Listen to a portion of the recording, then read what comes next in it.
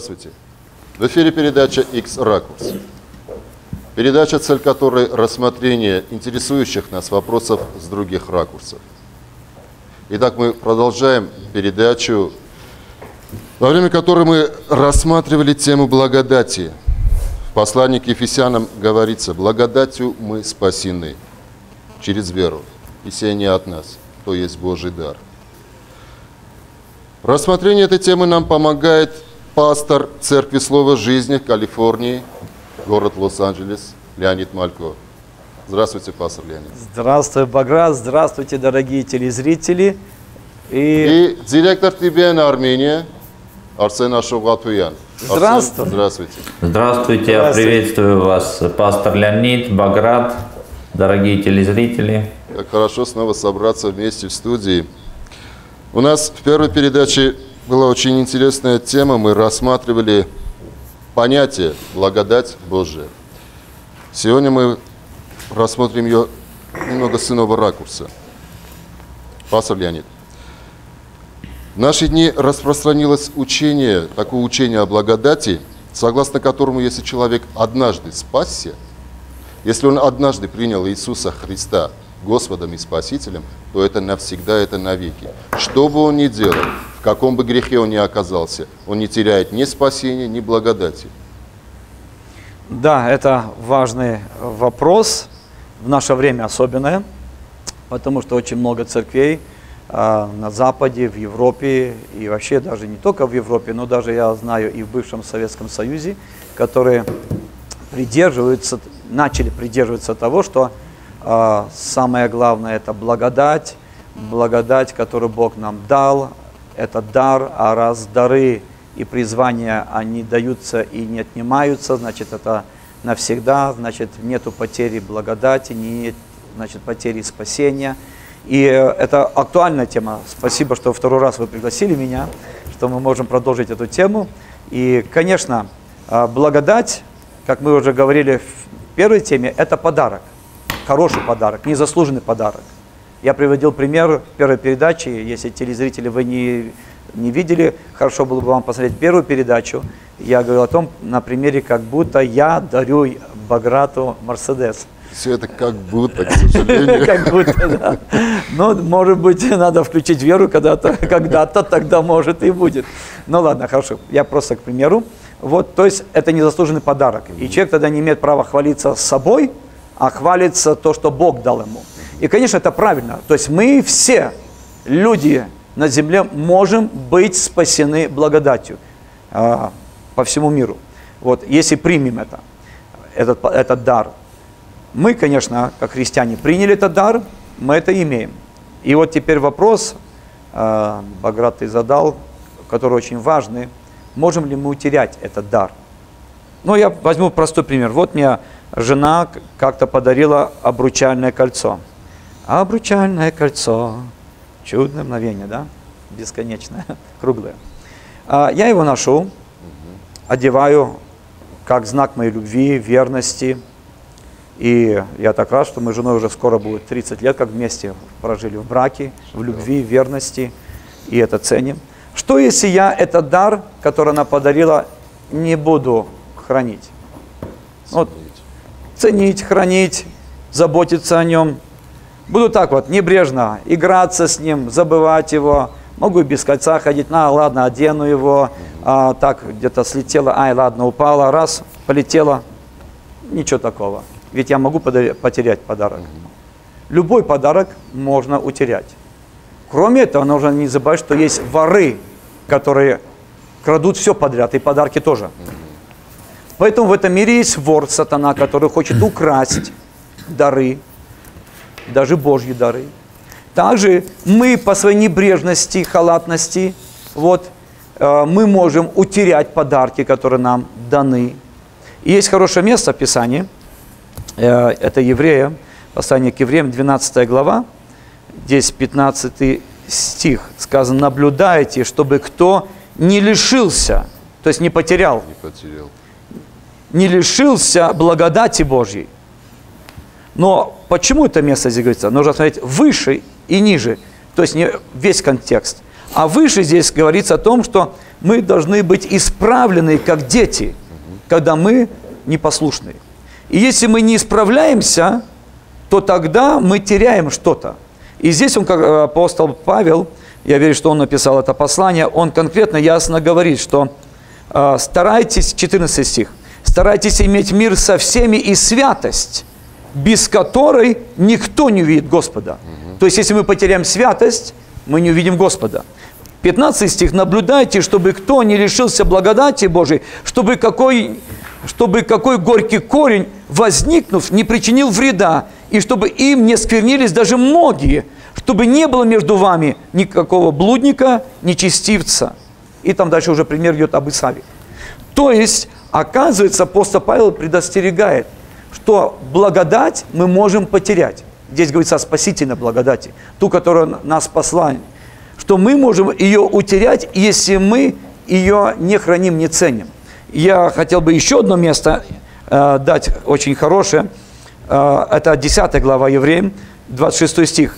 Здесь сказано, что если мы получили познание истины, это говорится о верующих, то есть мы познали истину, спасение, это все благодать, и начинаем произвольно, осознанно грешить и не каемся – я понимаю, что все мы где-то согрешаем. Я думаю, дорогие телезрители, нет такого человека, который бы не согрешил, да, даже из нас, верующих. Где-то мы согрешаем словом, если не словом, мыслью. Не дай Боже, конечно, может кто-то согрешает поступком. Но когда мы исповедуем грехи наши, то Он, будучи верен и праведен, простит наши грехи и очистит нас своей драгоценной кровью.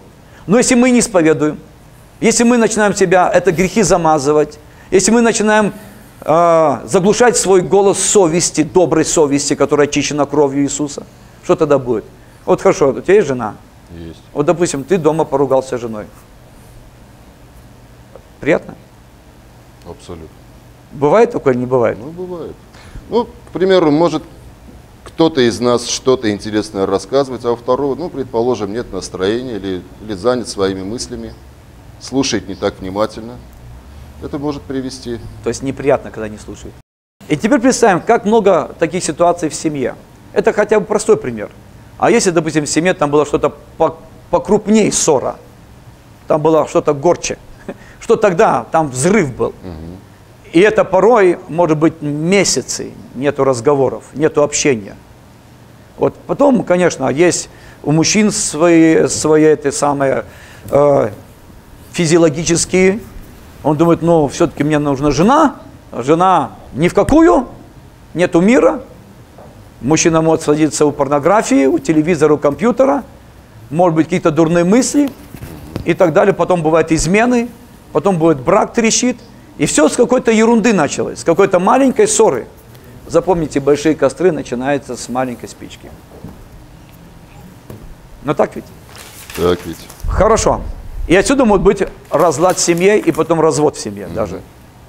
Потому что там уже за, за этим идут уже большие, как бы, следующие грехи, как мы говорим, неправильные поступки. И потом уже может быть развод. Это потеря союза. То же самое с Богом. То же самое с Богом. Смотрите, как здесь апостол Павел говорит, если мы получили познание истины, произвольно грешим, осознанно грешим и не раскаемся, то не остается больше жертвы за наши грехи но некое страшное ожидание суда и ярость огня, то есть ада, готова пожрать противников. То есть мы делаемся противниками в этот момент. Угу. помните, апостол Павел в одном месте говорит, что он, ну, в нескольких местах он писал, что у меня есть противники, которые меня гонят. Был такой один из них Александр, Александр Медник, он так называл. Но оказывается, он был верующим. Оказывается, он имел веру. Оказывается, он имел спасение. Почему? Потому что он потерял веру. Это в Тимофею будет апостол Павел объяснять эту ситуацию, что э, храните добрую совесть и веру, потому что некоторые потеряли, потеряв веру, они потерпели это кораблекрушение, то есть потеряли спасение. Но все началось из-за того, что они не следили за доброй совестью. Поэтому я хотел бы, конечно, это напомнить, этот стих в Библии который на самом деле очень важный, чтобы мы, чтобы мы не забыли его. Итак, мы можем потерять, потерять спасение, получается, если мы не следим за своей совестью. Когда мы начинаем согрешать, когда появляется какое-то семя, которое может вырасти в горький корень, а отсюда может появиться уже от корня горькие плоды. И тогда эти горькие плоды задушат все хорошее. Сорняк может задушить все поле. Поэтому мы не должны, не должны его запустить в свое сердце. Никакие искушения, никакие грешки, потому что они потом вырастут в большие грехи. Никогда большие грехи сразу не приходят, вначале маленькие согрешения. Если мы не раскаиваемся, не призываем кровь Иисуса, и если мы не следим дальше за своей совестью, будет следующий, следующий, следующий. И отсюда, конечно, мы можем утерять спасение, эту благодать. А, поэтому я отсюда вижу, что есть очень серьезное предостережение по всему, по всему Писанию, во всех посланиях. Хорошо, понятно. Я хочу к Арсену обратиться. Арсен, Да, я, Я- слышу. слушал объяснение одного верующего христианина, который принял учение о вечной благодати. Он объяснял э, так, что всю свою христианскую жизнь он жил с осознанием греха в своей жизни. Когда он принял, когда он поверил в эту вечную благодать, вот этот груз осознанности греха, он просто освободился от этого груза. У меня вопрос, я хочу обратиться к Библии. В послании к римлянам в пятой главе написано, когда умножился грех, стала преизобиловать благодать. Я хочу просто понять, значит ли это, что вот отпетым грешникам полагается большая часть благодати? Как по-вашему? Ну, нет, конечно. Ну, во-первых, я хочу э, дополнить чуть-чуть э, с другого ракурса то, что сказал пастор Леонид. Э, я полностью согласен с его объяснением, э, потому что я часто встречал, как люди мне говорили, если Бог есть любовь, Библия нас учит этому, то мне все простится. То есть, что бы я ни сделал, э, то есть будет действовать эта благодать, и мне все простится. Но очень часто люди забывают, что Бог также э, судья праведный. То есть нас в многих местах э, Библия учит, что Бог есть судья праведный. И начиная еще с Ветхого Завета мы можем видеть, как э, для меня, ну, может быть, одно из ошеломляющих мест было это место во второе, э, э, второе царство в шестой главе, когда царь Давид решил перевести ковчег Божий. И э, во время переезда ковчега написано, что валы э, наклонили повозку. И Оза просто просер руку, чтобы э, поправить ковчег. И знаете, написано, что Бог поразил его, и Оза умер. И для меня было вопросом, почему Бог поразил Озу? Оза же там вроде доброе дело делал и все такое, да? И написано, что и Давид опечалился, и повернули ковчег, отвезли в другое место. Но мы можем в другом месте видеть, что Бог просто дал заповедь, кто имеет прикасаться, право прикасаться к ковчегу, кто не имеет права этого делать. То есть есть некий, некий э, свод правил и законов, которые Бог нам дал, да? И их все равно надо придерживаться. Э, Вне зависимости от того, Слово Бога, оно должно исполняться. Э, Мы приняли благодать, мы приняли спасение. Но если мы э, отходим от этих неких Божьих правил и э, сводов, то мы можем потерять это спасение. Насколько Бог любящий Отец, но Он не может поступать как судья неправедный. Потому что э, праведность это в его сущности, он должен поступать праведно. Поэтому, как сказал пастор Леонид, мы можем потерять э, ту благодать, которую имеем. Под- именно из-за того, что Бог не только м, любящий Отец, но и Бо- э, судья праведный. Конечно, Арсен Джан, я понимаю, что многие люди, слушая тебя, скажут, ну это Ветхий Завет. Это все Ветхий Завет, мы сейчас под благодатью в Новом Завете, где все Но проще. Иисус сказал, что я не пришел нарушить ни одну э, строку из закона. А другие тебе скажут, что Иисус упразднил закон заповеди учением. Поэтому, видишь, у людей, у многих, я думаю, вы, телезрители, согласны, что у многих людей, даже вот некоторых из вас, есть вот такое понимание, что Ветхий Завет – это Ветхий Завет. Все старое прошло, теперь все новое во Христе Иисусе. Мы в Новом Завете, мы под благодатью. Но нужно понимать, что а, благодать, которую Господь дал нам, спасительную благодать, которую Господь нам подарил, вот, она не просто так была дана нам на самом деле. Это была дана высокой ценой, жертвой Божьей. Во-первых, он, во-первых, он исполнил, да, Иисус исполнил весь закон, потому что никто не мог исполнить. Да. Все где-то нарушали. Если бы он где-то нарушил, он бы стал бы грешником и сам бы имел бы свою физическую смерть когда-то за свой грех. Но он принял нашу мученическую смерть, не свою смерть, а нашу смерть из-за нашего греха. Вот почему он пошел на грех. И это нас оправдало. То есть он встал на суде и сказал, это не Леня сделал, это я сделал, меня судите.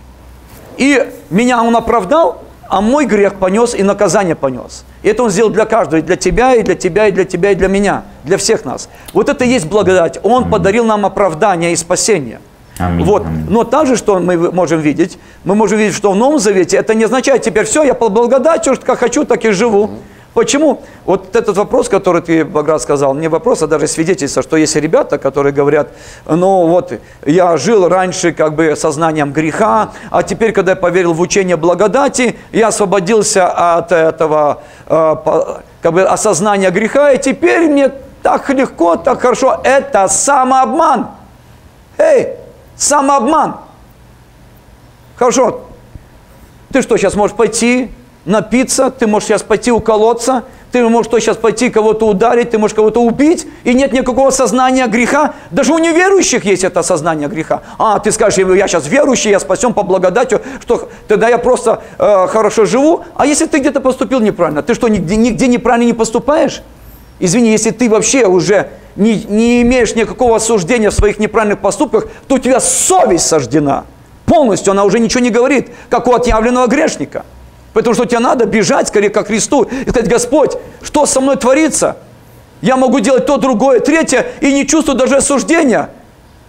То есть учение о вечной благодати, оно может сжечь нашу совесть. Конечно, очень, очень просто. Смотри, дайте я еще раз прочитаю это место, чтобы люди некоторые ясно понимали.